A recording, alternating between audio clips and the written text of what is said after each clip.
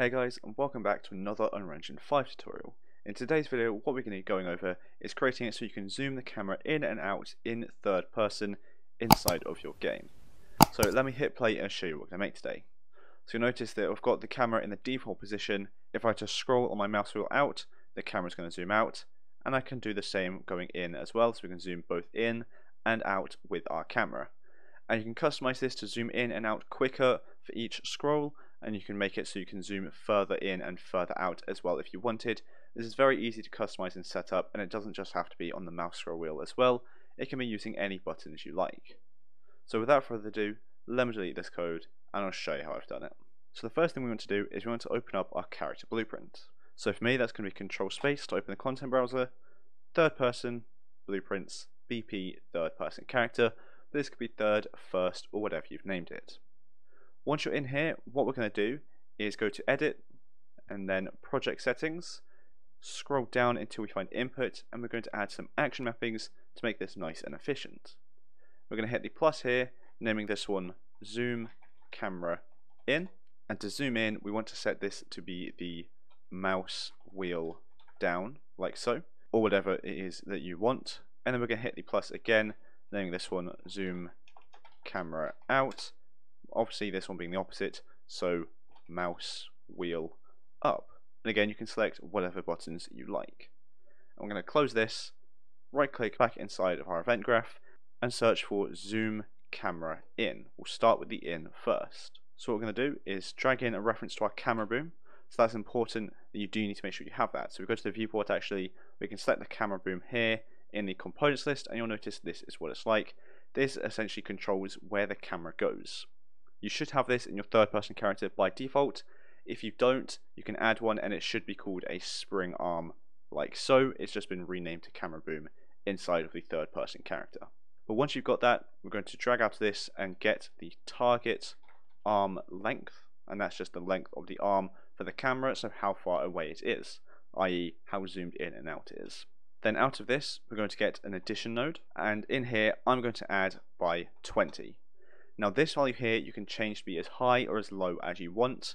The higher the number, the quicker it's going to zoom in and out, obviously you're going out as well. The lower the number, the slower it will be, so the player will have to move it more. Obviously the lower it is, the smoother it will look, but again, the player is going to have to scroll more, so it's up to personal preference of what you want it to look like. Out of this, we're going to get a clamp with a clamp of a float there, with this going into the value.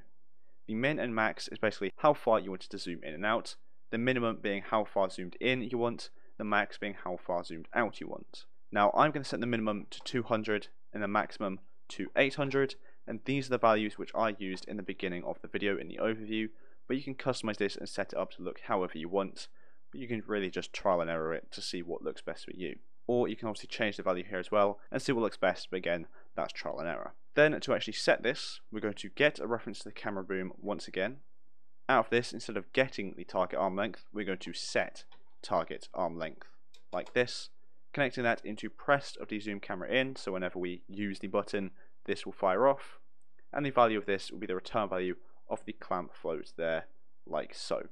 And it is that simple.